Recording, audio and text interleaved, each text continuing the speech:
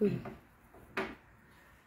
Çox hörmətli xanımlar və bəylər, dəyərli dostlar, jurnalistlər, hamınızı Müdafiə Xətti İnsan Hüquqları Təşkilatı adından salamlayırıq və əziyyət çəkib gəldiyiniz üçün hər birinizə ayrı-ayrılıqda təşəkkürümüzü bildiririk. E, bugünkü mətbuat konfransımızın e, nəyə həsr olduğu haqda məlumatlısınız. E, əslində biz bu mətbuat konfransı dünən görüşdən sonra etmək istəyirdik. Ancaq sonra qərar aldıq ki, biz e, jurnalistlərin hansı şərtlər və ə, e, rejim altında işlədiyi nəzərə alaraq ə, e, bu günə təyin etdik. Deməli, ə, ə, 3 ay bundan əvvəl ə, Ombudsman Səbinə xanım Əliyev ilə görüşdən sonra müdafiə xəttində İnsan Hüquqları Təşkilatına belə bir təklif gəldi ki, Daxili İşlər Nazirliyinin görüşlə bağlı biz bu məsələni öz daxilimizdə həm təəssüslərlə müzakirə etdikdən sonra bu məsələyə pozitiv yanaşdıq və düşündük ki, Müdafiə Xətti İnsan Hüquqları Təşkilatı olaraq hökumət qurumları ilə, xüsusilə hüquq mühafizə orqanları ilə əməkdaşlıq etməliyik e, və bundan maraqlıyıq. Və bu proses e, davam elədi e, və dünənlərdə e, bir həftə əvvəl e, bu görüşün gündəliyi ilə bağlı e, məsələlər müzakirə olundu. Gündəlikdə olan məsələlər Müdafiə Xətti İnsan Hüquqları Təşkilatı tərəfindən təklif olunmuşdu və bu nazirlik tərəfindən də təsdiq olunmuşdu. Gözlənilir ki, bizim e, deməli general leytenant e, İsmət Əliyevlə, Daxili İşlər Nazirinin müavini ilə görüşümüz e, olacaqdır və dünən oldu da. E, deməli, görüşdə e, bundan başqa Bakı şəhər Baş Polislərinin rəis müavini, e, polis polkovniki Vüqar Ələkbarov, e, Daxili İşlər Nazirliyinin İnformasiya və İctimaiyyətlə Əlaqələr İdarəsinin rəisi Ehsan polis polkovniki Ehsan Zahidov iştirak edir. Ancaq görüş e, hardasa 10 dəqiqə ərzində davam edərkən e, gözlənilmədən, e, hətta bizim gözlənilmədən e, Daxili İşlər Naziri e, deməli general polkovnik Vilayət Eyvazov təşrif buyurdu görüşə. Görüş 3 saat müddətində davam etdi və biz bu görüş ərzində ölkədə fundamental insan hüquqlarının vəziyyəti ilə bağlı, xüsusilə polis-vətəndaş münasibətləri, kütləvi aksiyalarda polisin aksiya iştirakçılarına, jurnalistlərə, hüquq müdafiəçilərinə qarşı davranışları müzakirə mövzusu idi. Bundan başqa pandemiya ərəfəsində polisin davranışı, cərimələr məsələsi, bir çox məsələlər müzakirə olundu, gündəlikdə nəzərdə tutulan. İndi isə mən sözü sizlərə verəcəm. Təbii ki, suallar əsasında həmkarlarım və burada oturan məndəniz daxil 4 nəfər görüşdə iştirak edən suallarınızı cavablandıracağıq. Buyurun. Son aksiyalarda, Salih Rüstəmli ilə bağlı aksiyalarda xəsarət alan şəxslər e, gündəm mövzusu oldu. Sonuncu dəfə Zəfər Əhmədovun qolunun vətəninin sınması, bundan əvvəl Tofiq Yaqubulunun e, dəhşətli dərəcədə işgəncələrə məruz qalması, bu məsələyə toxunuldumu, Vilayət Eyvazov araşdırmaların aparıldığını və yaxud da hansı səviyyədə aparıldığı haqqında bir məlumat verdinizsə? Təşəkkür edirəm. Bir daha e, mən sizi salamlayıram. Ümumiyyətlə Görüşümüzün əsas məqsədi e, vətəndaş polis arasındakı olan e, uçurumun nisbətən e, bərpa olunmasına belə deyək də istiqamət götürmüşdü. Müdafiə Xətti İnsan Hüquqları Təşkilatı bu prosesdə az da olsa, cüzi də olsa müəyyən töhfə verərsə, nə xoş bizim halımıza. Çox təəssüf ki, Azərbaycanda yığıncaq azadlığı, sərbəst toplaşma azadlığı faktiki olaraq ə, e, yasaq edilibdir. Pandemiya dövründə bunu müəyyən qədər legitimləşdiriblər, amma 19 yanvar 2019-cu ildən bəri Azərbaycanda insanlar ə, e, birləşib özlərini ifadə etməkdə acizdirlər. 1 dekabr isə ümumiyyətlə ə, e, zorakılığı ilə, ə, polisin şiddət satan, ə, saçan davranışı ilə ə, əvvəlki ə, deməli ə, aksiyaları, dağıdılmış aksiyaları kölgədə qoydu. Polis bu dəfə nümayişkarana aşkar ə, şiddət tətbiq etdi. Biz bunu ə, Daxili İşlər Nazirliyinin rəhbərliyinə şəxsən Nazir Vilayət Eyvazova çatdırdıq və bildirdik ki, hesab edək ki, şərt olaraq tamam qeyri-qanuni olaraq insanlar toplaşıbdır. Axı bir aksiyaçıya qarşı 5-6 polisin birgə ə, e, müdaxilə edib də onu zorakılıqla yerlə sürüyüb, ə, e, xəsarətlər yetirməsi, Müdafiə Xətti İnsan Hüquqları Təşkilatının həmkəsi Zəfər Əhmədovun qolunun çox ağır formada əzilməsi, Xalq Cəbhəsi Partiyasının üzvü Paşa bəyin qolunun sındırılması, Babək Həsənovun ə, e, xəsarətlər alması, xanımlara qarşı şiddət göstərilməsi, müxalifət liderlərindən biri Tofiq Yaqubun o fikə salınması nə ilə izah oluna bilər? Çox ə, maraqlıdır ki, ə, Nazirliyin rəhbəri və Vilayət Eyvazov ə, rəsmən elan elədi ki, Tofiq Yaqublu olsun ki, ə, aksiya zamanı deməli saxlanılarkən müəyyən xəsarətləri alıbdır. Ə, polis avtomobilinə belə deyək də götürülərkən müəyyən sıyrılmalar və s. olub, amma ə, nəticə etibarilə Tofiq bəyin üz nahiyəsindəki o xəsarətlərin polisə istiradiyyəti yox. Biz sual verdik, tamam. Canlı yayın vasitəsilə bütün Azərbaycanın gözləri qarşısında Tofiq Yaqublu bir neçə polis ə, əməkdaşı tərəfindən götürülür və bir neçə saat sonra bəlli olur ki, adamı şəhərdən 60-70 kilometr kənarda düşürüblər və belə ağır formada xəsarət yetiriblər. E, Vilayət Eyvazovun bildirməsinə görə bununla bağlı prokurorluq orqanları araşdırma aparır. Onlar hüquqi qiymət versinlər. Əgər burada polisin hər hansı rolu varsa, buna hüquqi qiymət versinlər. Bilirsiniz, biz e, ümumiyyətlə hüquq müdafiəçisi olmazdan öncə eyni zamanda ixtisasca hüquqşünaslıq e, və istintaq orqanında bəlli bir təcrübəyə malikik. Bu bizə ötürü inandırıcı deyil e, və e, həm burada, həm də dünənki görüş zamanı qəti surətdə bildirdik ki, burada məsuliyyət payı birbaşa polis orqanlarına aiddir və həmin şəxslərin dairəsinin müəyyən edilib, barələrində adekvat hüquqi qiymətləndirmə görülməsi çox asandır. Bütün Azərbaycan, bütün şəhərlər, qəsəbələr, az qala kəndlər müşahidə kameraları nəzarət altındadır və Tofiq bəyin həmin günü hərəkət trayektoriyasını isə əgər iradə olarsa təyin eləmək, müəyyən eləmək 2 vur 2-dir. Yəni bu və e, bizdə ümumiyyətlə belə bir də qənaət formalaşdı. Düzdür, bunu biz ehtimal üzərində qururuq. Qəti mühakimə bildə bilmərəm mən. E, üçün deyilir ki, hə bu e, son hesabla Tofiq bəyin üz nahiyəsində, gözlərində bizim gördüyümüz o ağır o mənzərə hansı ki, zədələr ə, e, polis tərəfindən edilməyib, istisna edilir. Mümkün haldır ki, məsəl üçün ə, e, polis saxlayıb bölmədə müəyyən şiddət göstəribdir. Daha sonra isə hansısa qeyri-qanuni qruplara, hakimiyyətin əlində nə qədər e, belə deyək də qanunsuz dəstələr var. İndi biz burada sadalaya da bilərik ki, ayrı-ayrı tutalım Mərkəzi İcra Hakimiyyəti orqanı, Dövlət Neft Şirkətinin ötən çıxışında söylədim. E, Prezidentin Rövnəq Abdullahın əlindəki olan qoçu dəstələrdən biz saya bilərik. Ya tutalım bəlkə təhvil veriblər bunlar dövlət təhlükəsizlik xidmətinin əməkdaşlarına. Deyə bilmərik. Bütün hallarda bunun məsuliyyətini kim daşıyır? Bunun məsuliyyətini mülki vətəndaş daşımır, Azərbaycan müxalifəti daşımır müdafiə xətti daşımır. Bunun məsuliyyətini Azərbaycan hökuməti daşıyır. Buyursun, araşdırsın və buna qiymət versin. Bu baxımdan təbii məsələnin ən absurd tərəfi bundan ibarətdir ki, fakta görə heç prokurorluq orqanlarında cinayət işi başlanmayıbdır. Tamam, şəxsin kimliyi bəlli deyil. Müəyyən edə bilmirsiniz ki, Tofiq Yaqubiyə qarşı bu xəsarətli zorakılıq kim tətbiq edibdir? Əgər sizdə araşdırmanın tam, hər tərəfli, lakin obyektiv aparmaq iradə, e, belə deyək də, e, məqsədi varsa, fakta görə cinayət başlayın. Buna nə mane olur? Sadəcə olaraq təvsif edirik bir daha Azərbaycanda e, polislərin, ə, ümumiyyətlə vətəndaşların təhlükəsizliyini, sağlamlığını, mülkiyyətini və s. mühafizə etməli olan polislərin elə vətəndaşları indiki halda isə belə aksiyaçılara hansı vəziyyətə gətirdikləri, hansı kökə saldıqları göz önündədir.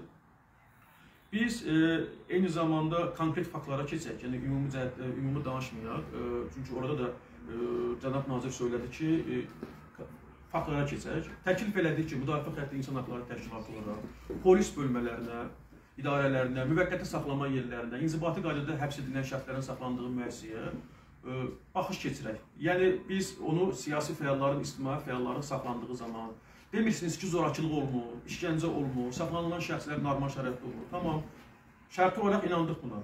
Nə mane olur ki, biz hüquq müdafiəçiləri, müdafiə xəttinin həm təsirləri həmin o belə deyək də saxlanma yerlərinə baş çəksin. Nazirin söyləməsinə görə buna baxılacaq və onun təbirincə söyləsək, addım-addım buna yanaşmamız olacaq. Daha sonra biz orada deməli Azərbaycan Xalq Cəbhəsi Partiyasının Gəncə şəhər təşkilatının fəalı şahmat müəllimi e, demək e, Şahin Hacıyev barəsində məsələni qaldırdıq. Ötən bizim e, canlı yayında da söyləmişdik. Birbaşa Nazir Vilayət Eyvazovun diqqətinə çatdırdım. Adam şahmat müəllimidir, adamın yetirmələri var, müxalifətçidir, sosial şəbəkələr üzərindən ə, sərt ifadələri var, paylaşımları var. Olsun ki, bəzi aşağılayıcı məsələ belə deyək də paylaşımlar da olub. Bunu qınamışıq ki, bu həddə olmaz. Amma indi onun narkobaron çıxarıblar. Zaur Əkbərlə bərabər ötən həftə Gəncə şəhərində biz ezam olunduq və Şahin Nazivin olduğu evdə biz e, çəkiliş apardıq. Sosial şəbəkələrdən yayılıbdır. Təsəvvür edin ki, narkobaron çıxarılan Şahin Hacıyev, bunu vilayət müəllimin özünə çatdırdım. Evindəki olan əşyaları satırmış. Qonşulara gəvələrini satırmış, soyuducunu satırmış. Qonşulardan biri sizə desəm, indi təcrübə edərsiniz. Şahin Hacıyev nəyə görə axtarılmış? İkinci gəbəsinin pulunu vermək üçün. Bəlli oldu ki, Şahin Hacıyev həbsdədir. İndi sual olunur. Evinin əşyalarını satan, bunun üçün ərzaq və ərzaq məhsulları almaq istəyən insan narkotik vasitələrin qanunsuz dövriyyəsində təqsirləndirilirsə, bu absurddur. Narkobaron haçandan acımalıdır. Məsələnin hüquqi tərəfini qoyaq bir tərəfə, elə bir mənəvi tərəfi də var, faktiki tərəfi də var axı.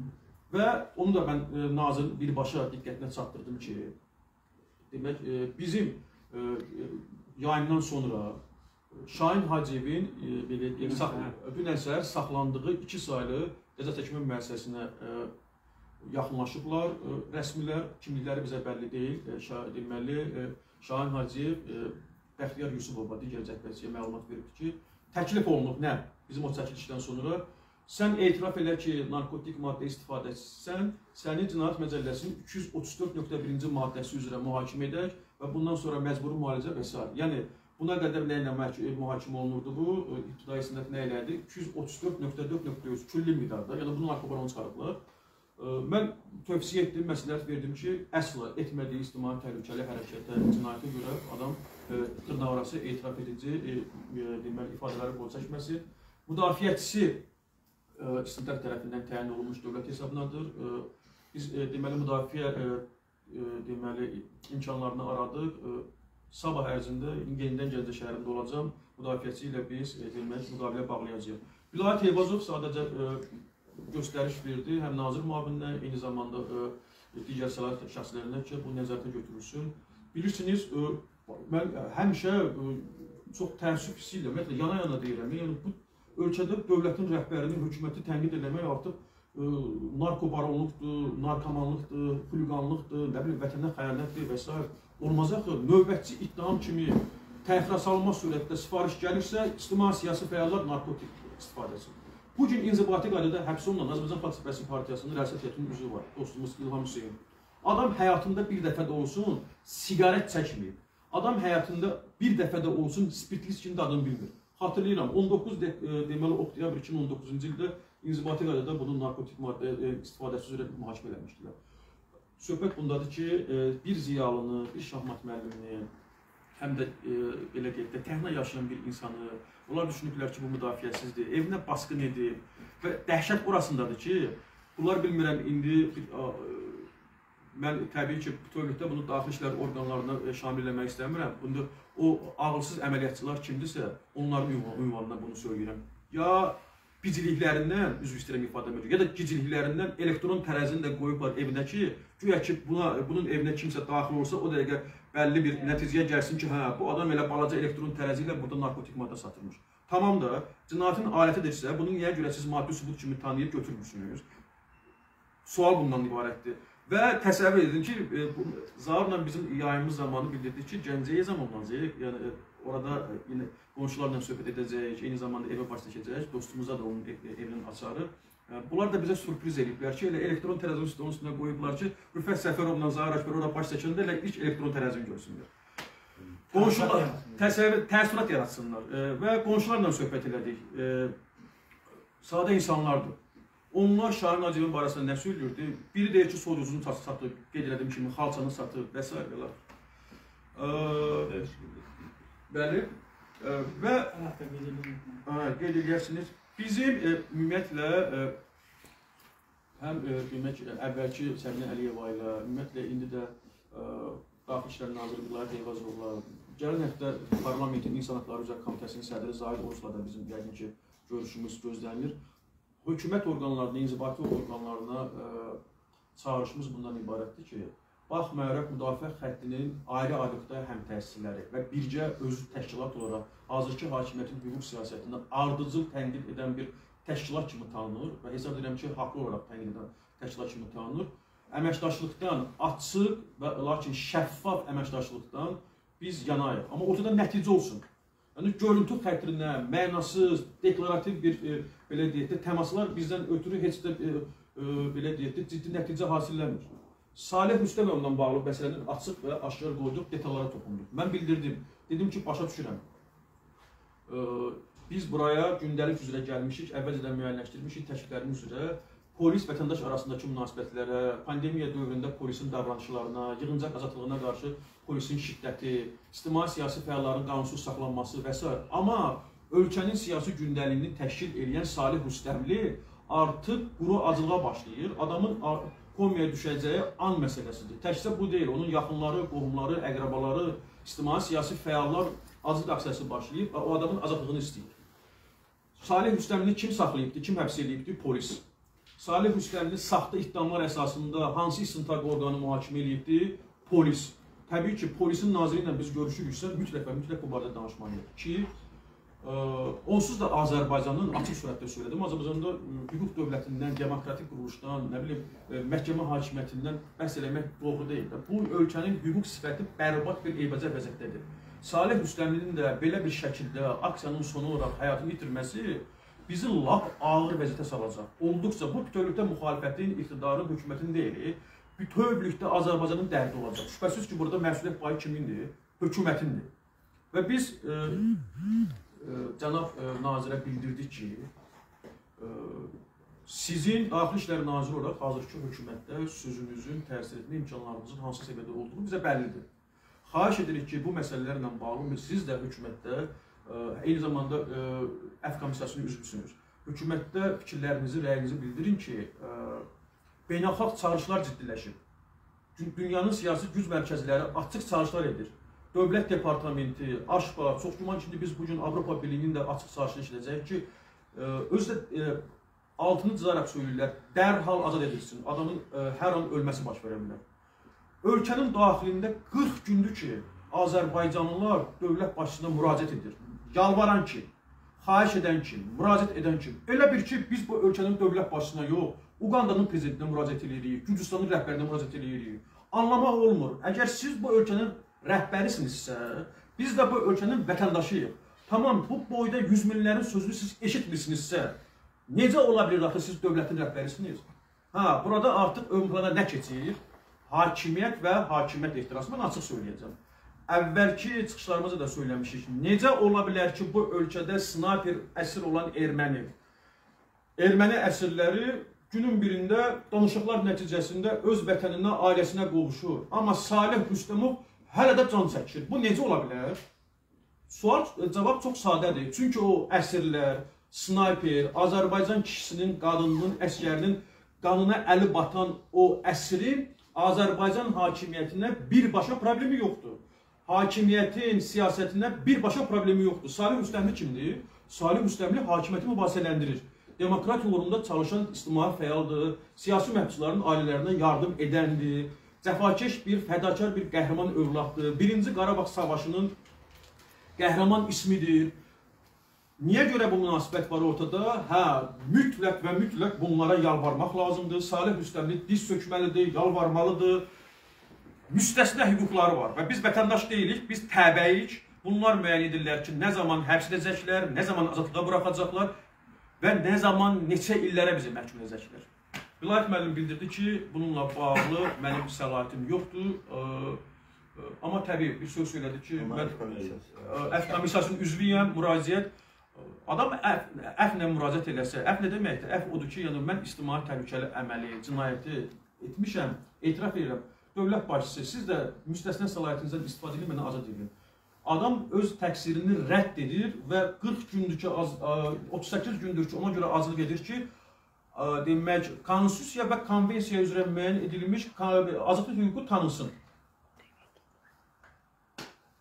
Bəzi məsələləri mən qeyd edeyim. Hüquq müdafiə təşkilatlarının dövlət məmurları ilə görüşü Azərbaycanın əvvəlki təcrübəsində də olub və Azərbaycanın müstəqilliyinin kədərli bir tarixi var.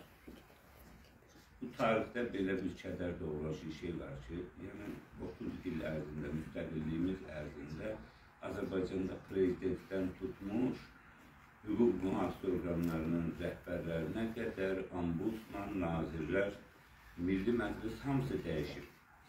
Azərbaycanın dəyişməyən bir məsələsi olub. O da insan hüquqları məsələsidir. Bu dəyişiklik əslində baş verib, ancaq pis istiqamətə olub. İllərlə hüquq müdafiə təşkilatları görüşüblər, belə cəmiyyətə açıqlama veriblər ki, bir müzakirələr aparırlar, amma çox təəssüf ki, çox təəssüf ki, nəticəsiz qalıb. Bu gün müdafiə xəttinin də bu görüşlərə qatılması, bu yolu davam elətdirməsi bizdə heç bir illüziya doğurmur. Bizdə heç bir belə necə deyərik, bir şey yaratmır ki, bu nəsə baş verəcək. Çünki biz istəyərdik ki, Azərbaycanda məmurlar qapıların deyil, pəncərələrin deyil, qulaqların və gözlərin açdırırlar. Bu ölkənin problemlərinə baxsınlar və onu dinləsinlər. Çalışdıq ümumi şəkildə ümumi problemləri çatdıraq ki, bu ölkədə problemlərə göz yumulması ölkəyə yaxşı heç nə vəd etmir. Baxın, e, bugün ölkə gündəmində olan məsələlərin birincisi Tərtər faciəsidir. Düzdür, onun Daxili İşlər Nazirliyində birbaşa aidiyyəti yoxdur, nazirliyə aidiyyəti yoxdur.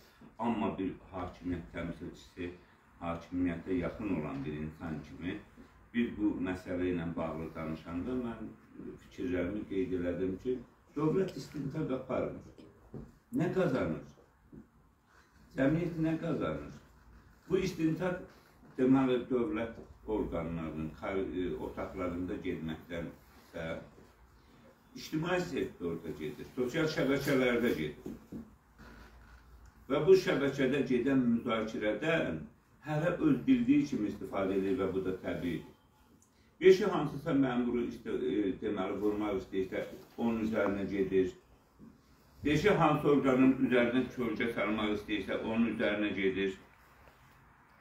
369 nəfərdən tutmuş 1767 nəfərə qədər bir rəqəm arasında bir e, deməli manevr gedir. Problem həll olunmur. Niyə görə? Çünki dövlət bu buna problem kimi yanaşmır. Bunu bir araşdırmır və bu çox pis nəticələrə gətirə bilər. Məsələn, tutaq ki, deyirlər ki, e, həlak olanların ailəsinə 11 min manat kompensasiya verilib, qanunda bu nəzərdə tutulur. Nə deyəm, qanunda nəzərdə tutulur ki, e, istintaq aparanlar insanı öldürməlidirlər o Qafqaz əsri kinosunda deyir ki, mən istəyirəm ki, məni Sovet qanunları ilə e, mühakimə eləsinlər. Ona da qayıdıb deyirlər ki, sən onu Sovet qanunları ilə qaçırmışdın ki, necə?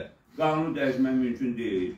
Bir yeni təlimat müəyyən etmək mümkün deyil ki, bu insanların ailəsinə layiqli bir kompensasiya verəsən, ondan bir, bunun bir dəqiq dairəsini müəyyən edəsən, obyektiv bir araşdırma aparasan, yox, başqa bir məsələ qazilərlə bağlı problem, e, bütün bu gün bütün ölkə ayaq üstündədir. E, heç bir nazirliyin, heç bir bir dəqiqə sual verərsiniz. Heç bir nazirliyin, heç bir deməli dövlət orqanının qarşısında etirazlar səngimir. Hətta vəkillər də bu etirazlara qoşulurlar. Biz bu ərəfədə Beynəlxalq İnsan Hüquqları günündə üç vəkil Namizəd Səfərov, mən və cənab Cəmal Bəlluzədə müraciət etmişdik ki, biz imkan verin, fikirdə çıxaq. Görün, ölkə nə vəziyyətə düşüb ki, başqalarının hüquqlarını müdafiə etməli olan insanlar, insanlar özləri piketlər vasitəsilə öz hüquqlarının müdafiəsinə çalışırlar. Bu məsələləri çalışdıq ki, biz çatdıraq. Sağ olun. Buyurun.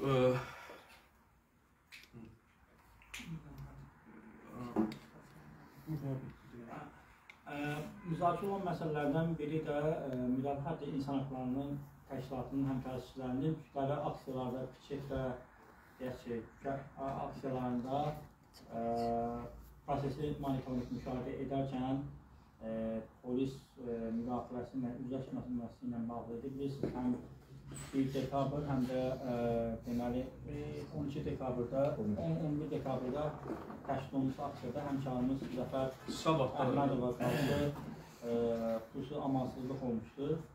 Ə, və bununla bağlı cənab nazir qeyd etdi ki, məsələdə heç problem olmayacaq. Normal şəkildə, yəni aksiyanı gedib ə, əməkdaşlarınızla birgə müşahidə edə biləcəksiniz. Yəni bu məsələdə ə, belə ə, razılıq əldə olunur.